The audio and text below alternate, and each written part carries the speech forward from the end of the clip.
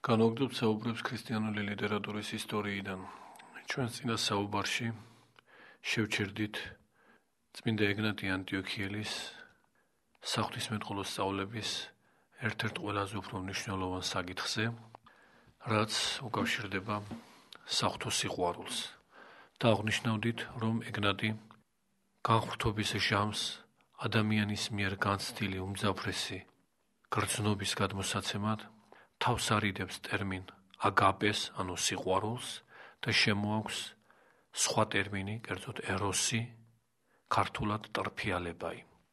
საკუთრივ თავისი ცხოვრების მიმართაც იყენებს იგი ამ ტერმინს, როდესაც ამბობს ვეტრფი წამებას, მაგრამ არ ვიცი ღირსი ვარ თუ არა.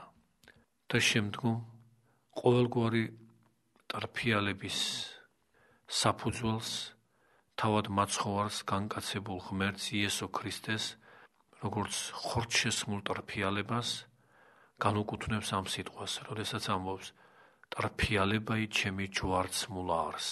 ჩვენ მოგვაქვს მინდა გიორგი მთაწმინდელის თარგმანი. ეს სიტყვები ეგნატის თქმული აქვს რომაელთა მიმართ ეპისტოლეში. ტრფიალებაი ჩემი ჯვარცმულ არს. ძალიან საგულისხმოა აღნიშნოთ, რომ ეგნატი ანტიოქიელის ამ ტერმინოლოგიურ სიახლეზე სპეციალურად ამახვილებს ყურადღებას წმინდა დიონისი არეოპაგელი. საზოგადოდ პირველი დამოწმება ეგნატი ანტიოქიელისა ქრონოლოგიურად პირველი დამოწმება სწორედ არეოპაგიტულ შრომებში გვხვდება, კერძოდ პირველ შრომაში საფრთხოთა სახელთათვის, სადაც ერთგან წმინდა დიონისი არეოპაგელი მსჯელობს ასეთ საკითხზე. იგი გვაუწყებს, რომ როდესაც ეკლესიის მამები განხრთობის უაღმატებულეს ხარისხამდე ადიან, ისინი ზოგჯერ უფრო ადრე, ესე იგი, უფრო ქვემორე ხარისხებზე მყოფნი, რა სიტყვებსაც მოუხმობდნენ საკუთარი გრძნობების სულიერი განცდების გადმოსაცემად, უფრო და უფრო აღმატებულ ხარისხზე აღწევნილნი გრძნობენ უკმარობას ამგვარი სიტყვებისას და ახალი სიტყვების შემოტანას არ ერიდებიან. ეს ითქმის განსაკუთრებით სიყვარულთან დაკავშირებით, ამბობს წმინდა დიონისი აროპაგელი, უდიდესმა ღვთისმეტყველებმა ამჯობინეს, რომ საღვთო სიყვარულის ყველაზე მძაფრი გამოვლინება, როდესაც პიროვნება განხრთობის მწვერვალზეა, უკვე გადმოსცენ არასაკუთრივ ამ სიტყვით, სიყვარულით, არამედ სხვა სიტყვით, კერძოდ ტრფიალებით, ანუ ბერძნულად ეროსით, ну, დიონისი აროპაგელიც ეგნატის გავსად ბერძნულად წერდა, ჩვენ თარგმანსაც ვიშველიებთ და საკუთრივ ბერძნულ მონაცემსაც, ორიგინალის მონაცემსაც, ორიგინალში არის ეროსი. ძველ ქართულ თარგმანში ხსენებული არაბაგირული შრომისა ეფრემცირის თარგმანში პირდაპირ კითხულობთ. დიონისი არაბაგელი ამბობს: და წერს საკვირველიცა ეგნატი, ტრფიალებაი ჩემი ჯვარცმულ არს. რამე თუ ტრფიალებად უწყოდა მან ქრისტე. და შემდგომ ამისა დიონის არაბაგელს აქვს სწორედ ის მსჯელობა მოცემული, რაც უკვე ვთქვით, რომ ამ უმზაფრესი განცდის გადმოსაცემად ეკლესიის მამები აღარ კმაყოფილდებიან შედარებით უფრო ნეიტრალური და ნაკლებ მძაფრი ლექსიკური ერთეულებით. მაგრამ ამ შემთხვევაში ყურადღებას კიდევ რა იქცევს? სიტყვა ეროსი ვიდრე ეგნატი ანტიოქიელამდე ბერძნულ ენაში მხოლოდ უარყოფითი გაგებით უარყოფითი შინაარსით იყო დატვირთული. კერძოდ იგი აღნიშნავდა, როგორც სხვადასხვა კომპოზიტორ შესიტყვებაში დღესაც აღნიშნავს, სხეულებრივ ავხორცულ სიყვარულს, ვნებიან შინს. ანუ იმას, რასაც თანამედროვე ტერმინოლოგიაში ეროტიკა გულისხმობს. ეროტიკა იმავე ეროსიდან მომდინარეობს. ეგნატისგან ამ ტერმინის გამოყენება კვლავაც იმას ადასტურებს, რაც ჩვენ არაერთხის აღვნიშნავს, რომ ეკლესიის მამები საჭიროების შემთხვევაში არ ერიდებიან წინა ქრისტიანული ეპოქიდან რაიმე იმგვარი მონაცემის გამოყენებას, რაც ამჟღავნებს უნარს სასიკეთო და ამ შემთხვევაში ჭეშმარიტი სწავლების დატევნისა. სიტყვებიც ისე როგორც ნაშრომები, ისე როგორც აზრები შეიძლება მოგზაურობდნენ, ტერმინები შეიძლება მოგზაურობდნენ და ეძიებდნენ თავიანთ ნამდვილ ადგილს, ნამდვილ წიაღს, სადაც ისინი ჭეშმარიტად განსულიერდებიან. მრავალი სიტყვა ანტიკური პერიოდიდან, ანტიკური ფილოსოფიიდან შეგვიძლია ასე ვთქვათ, გამოიყენა საეკლესიო წერლობამ, მაგრამ აქ თვითონ სიტყვა გამოყენება არ არის მართებული. ჩვენ პირობითად მაინც ამას ვამბობთ, იმიტომ რომ მსჯელობაში სხვაგვარად თქვა ძნელია. სინამდვილეში აქ რა იგულისხმება?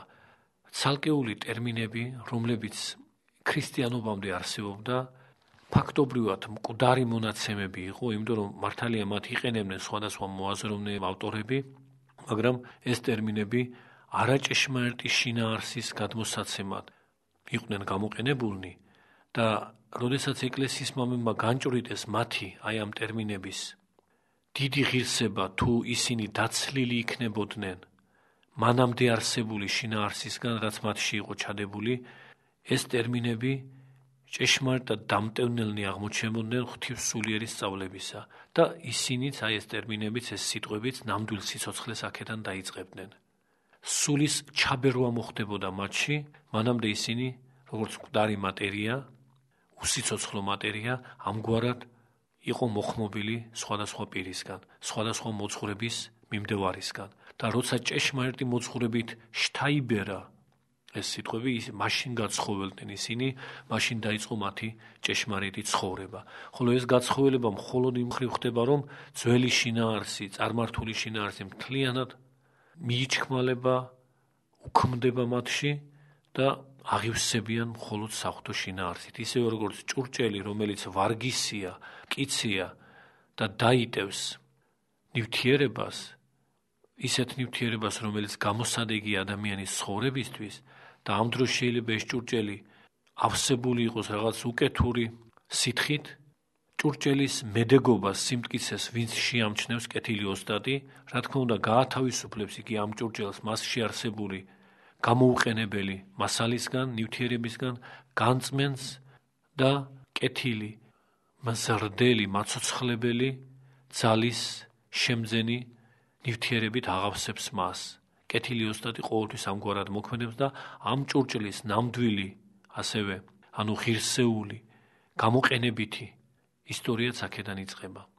საკუთრივ ადამიანის რომელიც შეუულებრივად ბუნებითად რა თქმა უნდა ესე იგი ბიოლოგიური შედგენილობით არანაირად არ იცვლება, როდესაც ქრისტიანდება, რა თქმა უნდა ღირსებითად, სულიერად, აბსოლუტ შინაარსით სრულიად სხვა ხდება.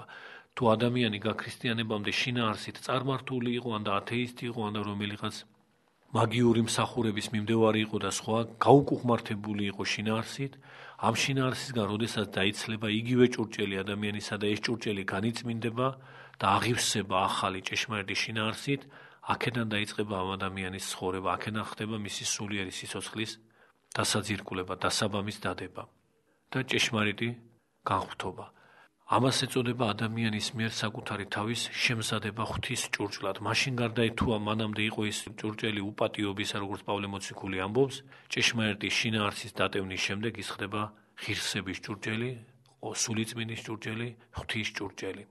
და იგივე ვრცელდება როგორც თქვით სიტყვებზე, ტერმინებზე, თავისთავად არც ერთი სიტყვა არც უარყოფითია, არც დადებითია. რა შინაარსით დაიტვირთება ამას აქვს გადამწყვეტი მნიშვნელობა.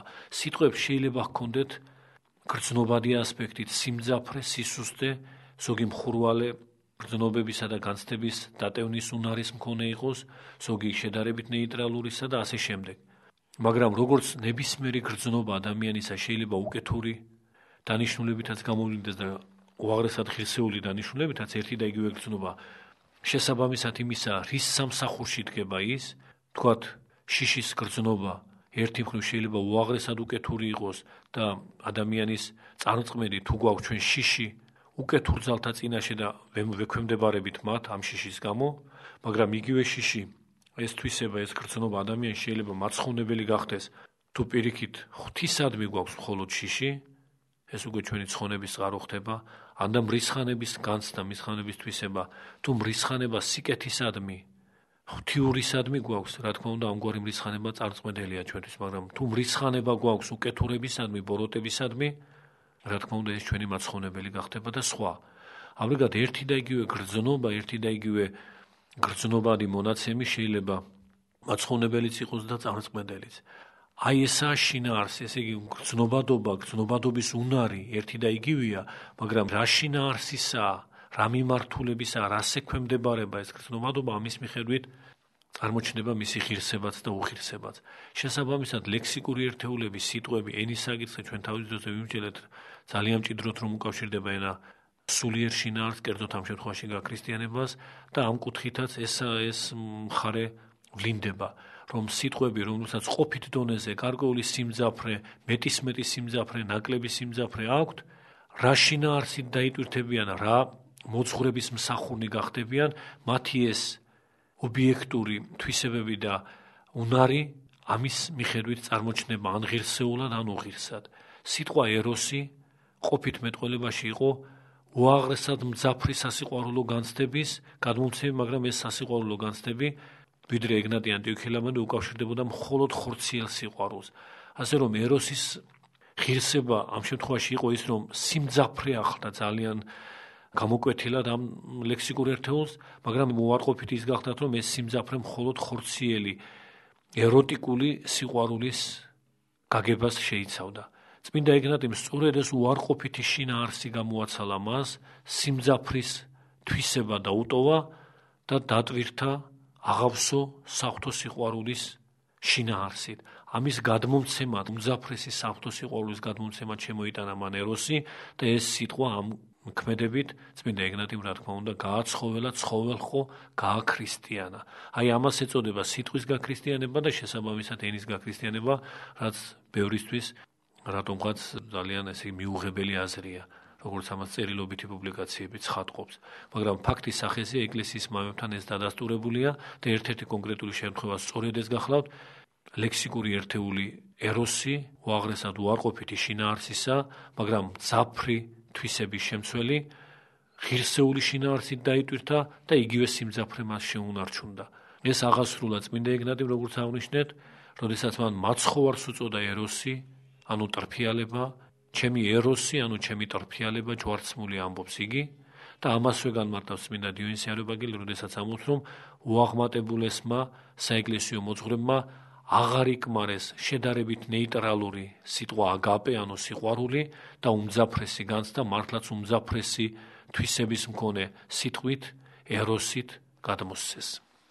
რამდენადაც სწორედ ამ ეპისტოლეში ადის ეგნატის სიყვარულის ასეთ უაღმატებულეს განცდამდე, ტრფიალებამდე, მეტრფეობამდე, შესაბამისად გასაკვირი არ არის, რომ სწორედ რომაელთა მიმართ ეპისტოლეში ავლენს თავს მისი ყველაზე უფრო ღრმა საღვთისმეტყველო განჭვრეტანი და ამ საღვთისმეტყველო განჭვრეტათა შორის უდიადესია საკუთრივ თავისი ცხოვრების სულიერი ჭვრეტა და განზოგადებულად ყოველივე ამის კითხველისათვის და მომდევნო თაობებისათვის თელი კაცობრიობისათვის გადმოცემა.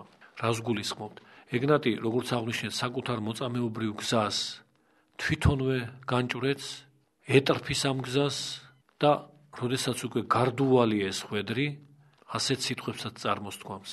ჩვენ ეს სიტყვები ნაწილობრივ, როგორც ციტატები სხვა საეკლესიო მოძღვრებთან წინა საუბრებშიც აღნიშნეთ, მაგრამ ამჯერად თვითონ ეგნატისგან დაუწყები ასეთი სახისაა. ხორბალი ვარ ღვთისა, ამბობს წმინდა ეგნატი. და დავიფქვები მხეცთა კბილებით, იმიტომ რომ გალიიდან გამოშვებულ მხეცებს უნდა დაეგლიჯათ იგი, ასეთი იყო მისი შამის და გამოტანილი განაჩენი და დავიფქვები მხეცთა კბილებით, რომ გავხდე წმინდა პური ქრისტესი. თავისი მოღვაწეობა ეგნატის წარმოუდგება როგორც ლიტურგიკული პურის შემზადება, გამოცხობა და ასე ითქმის ეს იმ ლიტურგიკული პურისა, რომელზეც ზიარება უნდა აღსრულდეს. შეერთვის ეგნატი მაცხოვნებელ სისხლსა და ხორცს მის ნაწილად წარმოუჩნდება თავისი თავი იმიტომ რომ მაცხოვრის სისხლი და ხორცი რაც ჩვენი თვალისთვის პურად და ღვინოთ წარმოჩნდება და რაც გვენიჭება ზიარების ჟამს ჭეშმარიტად სისხლი და ხორცი მაცხოვრისა რა თქმა უნდა განუყრელ იგივეობაშია მაცხოვრის სხეულთან ეკლესიასთან და ეკლესიის ყოველი ნამდვილი წევრი რომელიც სწამებს თავის ჭეშმარიტ შეერთებას ამ ეკლესიასთან როგორც ღვთის სხეულთან რა თქმა უნდა ლიტურგიკულად აღვლენილი მსახურების ნაწილიცაა მაცხოვრის სისხლისა და ხორცის მონაწილეც ხდება როგორც მზიარებელი მისი და თანაშეარსებული მასთან.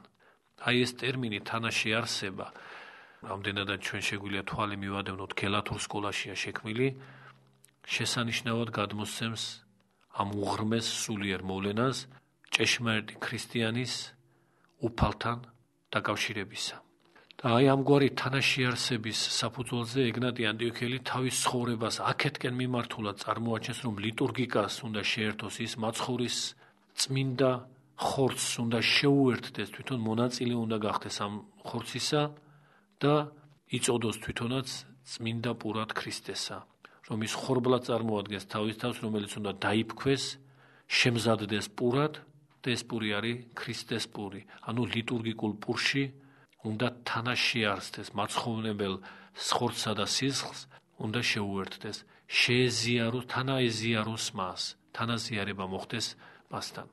ასეთი უღრმესი განცდით საკუთარი ცხოვრების, საკუთარი მოწამეობის განჭრედა თითქმის გამოთქმითი სახით ყოველ შემთხვევაში სადაც ეს დადასტურებულია, რა თქმა უნდა, მრავალი მიაღწევდა ამგვარი განცდის სიმაღლეს, მაგრამ ვინც დაგვიტოვა კიდეც სიტყვაში გამოთქმული ეს თავისი უაღმატებული სულიერი განცდა, ჩვენ ეგნატის გარდა ამ შემთხვევაში სხვა არ გვეგულება და ამ შესაბამისად ამ სიტყვებს კვლავ გავიმეორებთ. ხორბალი ვარ ღვთისა, და დავიფქვები მხეც და კბილებით, რომ გავხდე წმინდა პური ქრისტესი. ამ სიტყვებს როდესაც უკვირდებით და ნებისმიერ სხვა განმონათქვამს ეგნატისას, ჩვენ ყოველთვის უნდა ვაცნობიერებდეთ, რომ არსად ასეთ შემთხვევაში ჩვენ არ გვაქვს რაიმე მხატვრული სახე, რაიმე მეტაფორა მხატვრულობის გაგებით, ანუ სახეობრიობა, სიმბოლო, როგორც ეს თვისება მხატვრული ნაწარმოებისა. საერთოდ ლიტურგიკა ხატრულობას გამორიცხავს და საეკლესიო სიმბოლიკა ხატრულობას გამორიცხავს იმ გაგებით როგორც ეს ხატრულობა მოიაზრება მწერლობაში, პოეზიაში, ხელოვნებაში თანამედროვე აზრით. სიმბოლო სახე განუყრელია საეკლესიო მოძღვრებისგან და საეკლესიო მსახურებისგან, ესე იგი პრაქტიკისგანაც და ხედვისგანაც, მაგრამ იმ შინაარსი და იმ გაგებით რომ სიმბოლოს და სახეს აქვს უდიდესი ცხოველმყოფელობა, არა პირობითობა, არა რაღაც გადატანითობა, ხატრული სახე ესაა, რომ ამ სახეში გადატანით ჩვენ რაღაც სხვა შინაარსი უნდა ვიგულოთ. ამგვარი რამ რა თქმა უნდა ეკლესიურ მსახურებაში და ეკლესიურ მოძღვრებაში თავისთავად ხადია შენარჩუნებულია, მაგრამ საკუთრივი რეალური ნამდვილი პირობითად ვთქვათ, ხელშესახებით, ხოველმყოფელობითი ძალა აქვს თვით იმ სიმბოლოს. ნებისმიერი რამ წმინდა ნივთი ტაძარში დადებული, რა თქმა უნდა, სიმბოლოა, მაგრამ არა იმ გაგებით, რომ რაღაც სხვა რამეზე მიგვანიშნებს მხოლოდ და მხატვრულობის ეფექტი, არამედ თვითვე არის უზენაესი მადლმოსილებით აღმეჭდილი ხოველმყოფელობითი ძალით გამშვალული და შესაბამისად განმავრთობელი უნარის მქონე. ნებისმიერი ნიში, ნებისმიერი ჩუქურთმა სიმბოლოა. რას გულისხმობს ხატრული სიმბოლო და რას გულისხმობს ეკლესიური სიმბოლო პირობითად რომ აღნიშნოთ. თუ მაგალითად ვინმეს ოთახში კედელზე არის მიმაგრებული ზეთისხილის რტო, ყველასთვის ადვილად საწვდომია რომ ესაა სიმბოლო მშვიდობისა, გადარჩენისა და სხვა. თვითონ იმ რტოს არავით არის საკრალურობა არ ენიჭება იქ და თუ ეჩვეულებრივი რტოა. იმიტომ რომ მას კურთხევის მადლი არა აქვს. საეკლესიო მსახურებაში, საეკლესიო მოძღვრებაში აბსოლუტურად ყველაფერი თუ ის მართლმადიდებლურია, კურთხევის ქვეშ იმყოფება. და აკურთხის საგანი იმავე საგნის კურთხევამდელი მდგომარეობიდან სწორედ ამით განსხვავდება, რომ კურთხევისას ნებისმიერ საგანს ენიჭება ცხოელმყოფელობითი ძალა, ნამდვილი, არაპირობითი, არამედ ნამდვილი ცხოელმყოფელობითი ძალა. თვითის სიმბოლოა ცხოელმყოფელობითი, თვითის სახეა ცხოელმყოფელობითი იმ წიაღისგან მომდინარე ეს ხომყოფელობა მასზე მომდინარე იმ წიაღზე, რომელსაც ის გამოსახავს, მაგრამ მხოლოდ გამოსახველი კი არა, არამედ რასაც გამოსახავს, იმის ხომყოფელობითი ენერგიის მქონეცა. იმიტომ რომ კურთხევის ქვეში იმყოფება და კურთხევის დანიშნულება სწორედ ესაა, როდესაც ჩვენ ჯვრის ფორმის ნივთს ვაკურთხებთ, ის ჯვარი ხდება სწორედ იმ გაგებით, რომ ჭეშმარიტი ჯვარი, რომელზეც მაცხოვარი ჯვარს ეცვა, თავის ცხოველმყოფელობას და თავის ეშმაკთა და უკეთურ ძალთა დამთრგუნველობის უნარს კურთხევის ძალით ამ ნივთსაც ჯვრის ფორმის ნივთსაც ანიჭებს და ეს ნივთი რომელსაც კურთხევამდე მხოლოდ ჯვრის ფორმა ქონდა და სხვა არაფერი კურთხევის შემდეგ მადლმოსილებითა და ცხოველმყოფელობით აბსოლუტურად იდენტურია იმ პირველ ჯვართან თვით ჯვართან ჭეშმარიტ ჯვართან რომელზეც მაცხოვარი ეცვა ისევე როგორც ხატი, ნახატი და ხატიც ეგლესიური სწავლებით სწორედ ამიდან სხვადება შეიძლება აბსოლუტურად ერთი და იგივე გამოსახულება იყოს, მაგრამ ერთი ნახატი იყოს და ერთი და იგივე ხატწერითი ნიმუში ვიდრე კურთხევამდე ნახატია, კურთხევის შემდეგ ხატია. იმიტომ რომ კურთხევი ისჯავს მასზე გადადის იმ სიწმინდის ან და იმ წმინდანის მადლმოსილება და ცხონმყოფელობითი ძალა რომელსაც ის გამოსახავს ნახატი მხატვრული ქნილება მხატვრული სახეა მაგრამ მას ცხონმყოფელობითი დანიშნულება არ აქვს. ვერც ერთი მხატვრის ვერც ერთი ნახატი ჩვენ ვერ განგვახტობს ცოდვათაგან ვერ გამოგვიხსნის ვერ გადაგვარჩენს უკეთური ძალებისგან რაიმე უბედური შემთხვევისგან და სხვა. მაგრამ ხატი ჯვარი ანუ ეკლესია ამ შემთხვევაში მაინც ნახატის ფორმაზე რა ხომ საუბრობთ კონკრეტულად ხატი რომ ავიღოთ ყველა წმინდა ხატი. იტევს იმ ძალას რომ ჩვენ თუ ღირსნი ვართ ამისა გამოგვიხსნა სხვადასხვა უკეთური გადამრჩენელობითი ანუ მაცხოვნებლობითი ძალა აქვს მას. რასაც ვერც ერთ ხატვარის ვერც ერთი მხატვრის ნამუშევარზე ჩვენ ვერ ვიტყვით რაც არ უნდა გენიალური მხატვარი იყოს ის და ასეც იყოს მიჩნეული. ამგვარადვე ვერც ერთი ციგნი რომელიმე მწერლისა თვითონ ეს ციგნი ჩვენ ვერ გადაგვარჩენს, ვერ გამოგვიხსნის ვერანაირი უკეთურებიდან ჩვენი მაცხოვნებელი არ შეიძლება იყოს, იმიტომ რომ თვით მისი დამწერი ისე როგორც იმ ნახატის შემსრულებელი არ არის არანაირი ცხონყოფელობითი ღვთივ სულიერი ძალის მქონე და რა თქმა უნდა მისგან შესრულებულზე ეს ძალა როგორ გადავა. მაშინ როცა ხატი კურთხევის ძალით სწორედ იმ სიწმინდეს და იმ წმინდამყოფელ ძალას იღებს, რაც აქვს მასზე გამოსახულ თაყვანსაცემ წმინდას იქნება ეს მაცხოვრის ხადი ყოლა წმინდა ღვთისმშობლისა თუ სხვა აი ეს პრინციპული სხვაობა ამ ორ სინამდვილეს შორის ჩვენ გვიდასტურებს რომ ეკლესიური სწავლება სიმბოლოს სახის შესახებ არსებითად განსხვავებული იმისგან რაც ჩაიდება მხატვრული სახის მხატვრული სიმბოლოს შინაარში ჩვენ რა თქმა უნდა ამ შემთხვევაში რაიმე დაკნინებაზე არ გვაქვს საუბარი არ ვაკნინებთ არც მხატვრული სახის დანიშნულებას არც მხატვრული სიმბოლოს მაგრამ აღნიშნავთ მხოლოდ იმას, რომ პრინციპულად სხვა ეკლესიური სახე და ეკლესიური სიმბოლო და ის აღრევა, რაც ხშირია და თითქმის ჩაულებრივი ამორ მდგომარეობას შორის, აუცილებლად დაძლეული უნდა იქნეს. აქედან გამომდინარე, ეგნატისგან თქმული ყოველი სიტყვა, რაც სიმბოლიკასაც შეიცავს, თუნდაც აი ხორბალი ჩვენ რომ აღვნიშნეთ ამ დიდეს სიტყვებში, პური, იმ გაგების სიმბოლო კი არ არის და იმ გაგების სახეები კი არ არის, რაც მხატვრული სახე არამედ ცხოველმყოფელობითი თვისების განმაღმრთობელი დანიშნულების მქონე ეკლესიური სახე სიმბოლოა. ამგვარი სახეობრივი და ცხოველმყოფელობითი გამონათქვამები ეგნატის ეპისტოლეებში კიდევ გვხვდება მრავალი? ამჯერად? ამ განმარტებით დავკმაყოფილდებით და შემდგომ კვლავ გავმაგზავნებთ საუბარს აღნიშნულ საკითხზე. გმადლობთ ყურადღებისათვის.